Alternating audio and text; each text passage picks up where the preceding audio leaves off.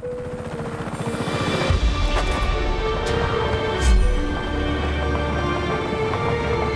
got an itch I can't scratch, I'm missing a piece that completes a whole part of me, an open wound scar to see. Everybody come here, gather round, welcome to the freak show, the best in town. What the hell's wrong with me? I don't get along with anybody, honestly. I've been living in my own head, constantly thoughts jumbled round, think I need a new lobotomy. Wait,